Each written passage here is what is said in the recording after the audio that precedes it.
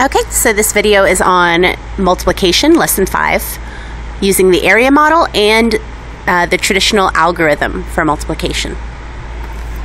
So for the problem 143 times 12, first I'm going to show you an area model. So for an area model, I'm going to draw a rectangle.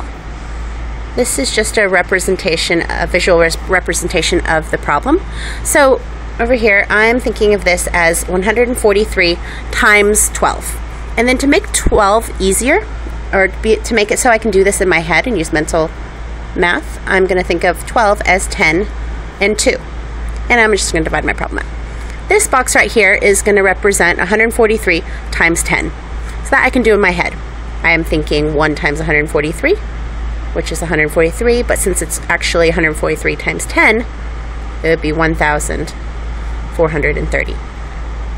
This box here represents 143 times 2, which I can do in my head because I'm thinking 2 times 100, which is 200, 2 times 40, which is 80, and 2 times 3, which is 6.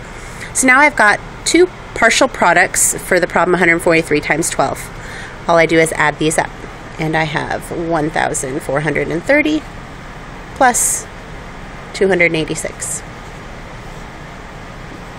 8 plus 3 is 11, 4 plus 2, plus 1 more, 7, and 1. So my answer is 1,716. Now for the traditional algorithm, or the standard algorithm, 143 times 12.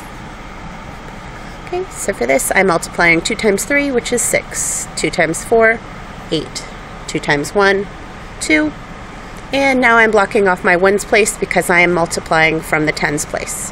1 times 3 is 3. 1 times 4, 1 times 1, and I add up my two partial products again, and you will notice, oops, I noticed that I made a mistake. so you'll notice that my two products are the same. I've got 1,430, 1,430. I've got 286, 286.